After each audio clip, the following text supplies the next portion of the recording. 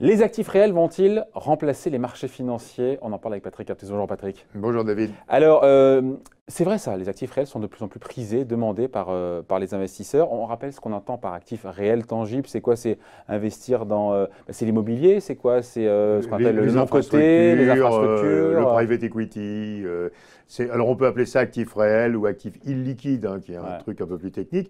C'est ce qui n'est pas des actifs cotés sur un marché en continu, quoi, hein, en gros. Hein. donc c'est c'est pas des obligations des entreprises, c'est pas des pas des obligations des États, c'est pas des actions cotées. Voilà. Et puis c'est du réel aussi, c'est du, du concret. Et puis, il y a une contrepartie. Euh, bah, vous achetez un immeuble, vous achetez euh, un champ d'éoliennes, ou private equity, vous investissez dans un petit nombre d'entreprises euh, qui sont dans le, fonds dans lequel vous investissez. Donc, c'est de l'investissement très direct dans l'économie réelle. Hein. Et parce que ces actifs sont dits réels et donc illiquides, parce qu'ils ne sont pas mm. valorisés tous les jours, ils rapportent plus. C'est ce manque de liquidité, dit autrement, qui est rémunéré? Alors, il y, a, deux attraits. Euh, alors, on voit le très grand intérêt des investisseurs pour ces actifs, avec effectivement deux attraits. Euh, un, qui est un, peu structurel, oui, et un qui est un peu plus, je dirais, euh, conjoncturel.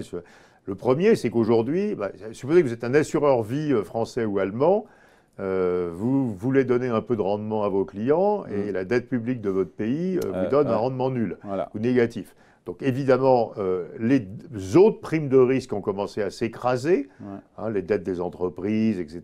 Ça rapporte de moins en moins. Bah parce que euh, à la recherche du rendement, de plus en plus d'investisseurs ont acheté des actifs risqués. donc, ça rapporte les primes de risque se sont écrasées. Quand on dit prime de risque, c'est le risque de défaut en général de l'emprunteur. Hein. Et il reste les primes d'illiquidité. Si vous parce qu'on ne peut pas revendre encore parce une fois cet actif. Vous êtes rémunéré parce que vous acceptez d'acheter un immeuble qui n'est pas si facile à revendre. En tout cas, vous ne pouvez pas revendre comme une action toutes les minutes. Quoi. Mm. Vous achetez euh, un, champ d'éoliennes ou une centrale solaire. Euh, bah, euh, normalement, vous gardez ça dans vos actifs pendant 5 ans, 10 ans, etc. Et tout ça, ça rapporte combien d'ailleurs en moyenne? On Et alors, aujourd'hui, bah, l'immobilier, 3,5. Ouais. les, dettes d'infrastructure, 4. Mm. c'est énorme quand on a une dette. L'equity d'infrastructure, 7-8. Et le private equity, 10. Hein, euh, et, ce que vous recevez, c'est essentiellement une prime d'illiquidité de l'actif. Le fait que vous, euh, que vous acceptez de mettre dans votre portefeuille quelque chose que, si vous avez besoin d'argent tout de suite, vous ne pourrez pas vendre quoi, tout de suite. Deuxième raison, euh, le rejet absolu maintenant de la volatilité des actions. Euh, aussi bien les entreprises cotées que les investisseurs en actions n'en peuvent plus de la volatilité des actions. Les actions ne révèlent absolument plus la vraie valeur des entreprises. Hein. Il y a une volatilité, des déviations des prix tout à fait aberrantes. Et donc, ça décourage totalement, un, les entreprises d'être cotées. Aux États-Unis, il n'y a plus que 3600 entreprises cotées. Hein. le, grand jeu, c'est de sortir de la cotation.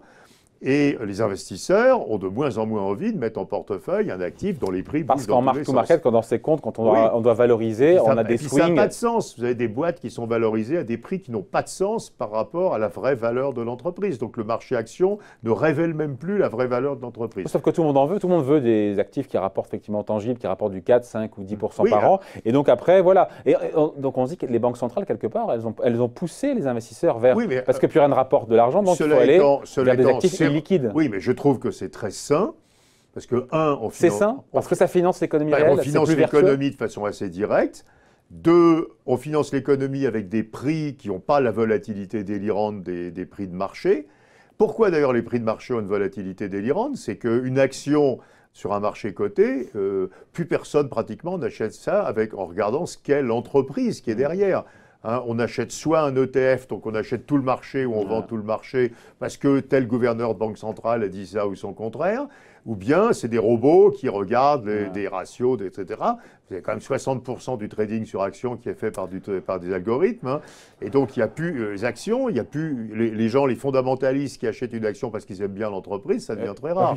Donc, ça devient denrée rare. Et, et donc Conclusion de tout ça, bah, la finance va devenir de plus en plus la finance du non-côté. avec le risque de bulle aussi, parce que si tout le monde y va, est-ce que ah, bah, Bien sûr, avec le bah. risque de bulle, qui est évité aujourd'hui pour une raison qui est d'ailleurs un problème en soi, c'est que les règles des investisseurs limitent ce qu'ils peuvent faire un assureur français est très très très très limité Ah. sur euh, ce qu'ils peuvent faire sur l'immobilier, sur le private equity ou sur les infrastructures. Donc c'est un garde-fou. C'est les fameuses règles de solvabilité. de- Oui, mais enfin, pour les clients de l'investisseur, il serait quand même raisonnable et utile qu'il puisse mettre un peu plus de ses actifs dans son portefeuille.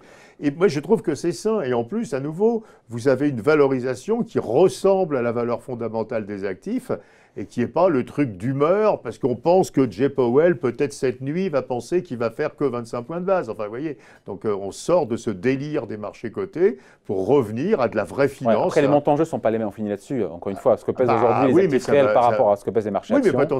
On- le, le monde, si on veut respecter l'accord de Paris, devra mettre 550 milliards de dollars par an dans les énergies renouvelables. Mm. Ça va vite faire beaucoup d'argent, quoi. Donc ça va, euh, c'est très gros.